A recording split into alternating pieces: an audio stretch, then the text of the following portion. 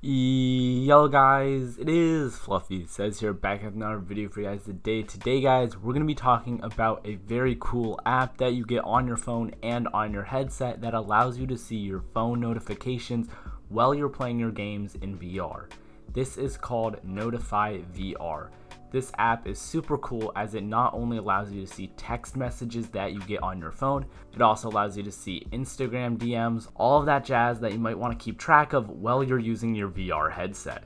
The thing that really stood out to me about this app is the fact that it works with things that aren't just Facebook related, meaning you can use your Android phone, your Apple phone, and get anything you want to pop up while you're playing games on your headset. With that being said though, let's just jump straight into how to do this. For starters, you are going to need SideQuest. If you don't have SideQuest, click on the eye up in the top right or go down into the link in the description. There's a video there that will quickly teach you how to get SideQuest and how SideQuest works. Along with side quests, you're also going to need developer mode turned on for your headset. Developer mode has gotten a lot more complicated, so if you want to figure out how to turn on developer mode, also check out the link in the description or click the eye up in the top right corner right now.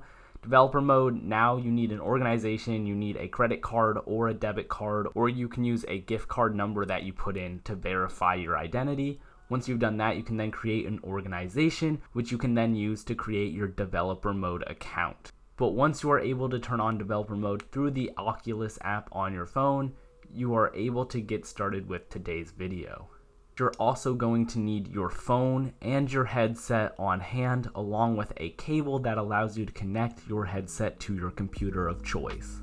For step number one, what you're going to do is plug in your headset into your computer click allow access, click allow ADB debugging, and then the green dot should appear over on SideQuest for you to get started.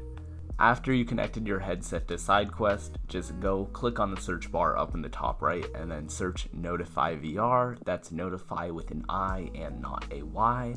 Once you search that, click download. You can then wait for it to download by checking up in the top right under installing.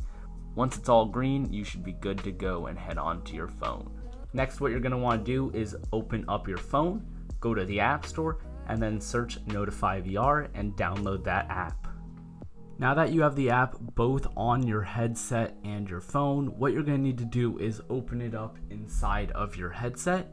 Once it is open inside of your headset, you're then going to want to open the phone app and then click on the Oculus logo. It will start loading and then it will connect. Once it is connected, you are free to go on with your experience using your headset and you'll get every single notification that comes on from your phone. You'll get game notifications, Instagram DMs, snaps, text messages from your family. All of them will run from your phone to your headset as long as you get a physical notification on your phone. Sorry I couldn't get video footage of this working for you guys. SideQuest was acting up so I couldn't cast and it doesn't allow you to record natively in the headset and I also couldn't use Oculus casting to my PC. So sadly you're just to have to listen to what I say and compare it to the images.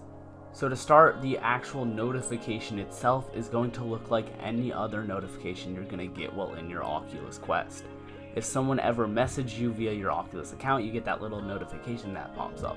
It's the same thing when you take a screenshot or finish recording a video, that notification bar that appears at the bottom, that is what you'll get when you get a notification off of your phone. The same thing will apply basically, any notification you get will appear in that big box over in the notification app. The one rule is you have to keep the notification app running if you want to get your notifications. With that being said though, if you want your notifications to pop up, you won't be able to record any videos whatsoever. Once again, sorry I couldn't get video footage for you, but I hope this short little video helped out at least a little bit. And with that being said, I will see you all in the next one. Peace out, everybody. Thank you to my members. I'll see you all in the next one. Peace out, everybody. Bye.